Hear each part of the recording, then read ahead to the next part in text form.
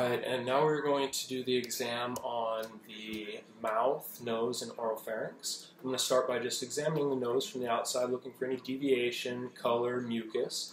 Um, then I'm going to look inside here, and we're going to look for any color or dis, um, discoloration or any polyps or anything. Um, so I'm going to start that in. I'm going to have to give you a little pig nose here. Is that okay? A little bit of redness, but no polyps or anything like that. Okay, and now we're going to move into the mouth.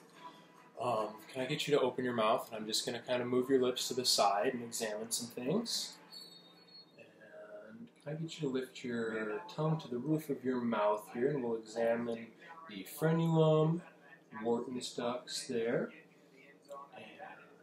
looking at the cheeks, looking if there's any ulcers or biting on the cheeks or anything. We're looking at the roof of the mouth, looking for any bony outcroppings or growths or anything like that. We'll also look at the gum lines and the teeth. And while we're down here, also kind of assessing for any halitosis or bad breath, which she definitely has. Um, and now we are going to move into some of the cranial nerve testings.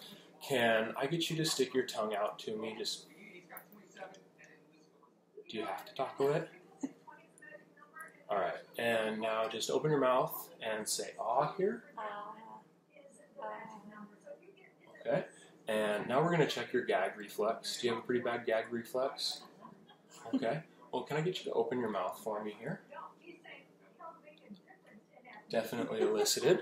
All right, and I've got this tissue for you. If you can stick your tongue out and wrap it in that, I'm going to kind of control your tongue and move it from side to side just to assess the lateral edges and the roof and bottom of your tongue.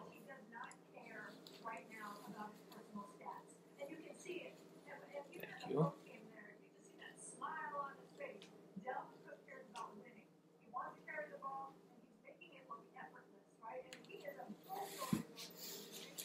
And now we're going to assess the breath through your nose. Can I take, have you take your left hand and put it on your left nostril?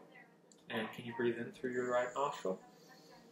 And we'll have you flip flop and do that with your right. Any difficulty or issues with that? Okay.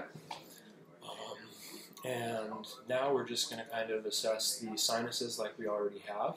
I'm going to palpate your cheeks and your forehead here. Let me know if you have any issues with any of this. Now I'm going to tap. Is that okay?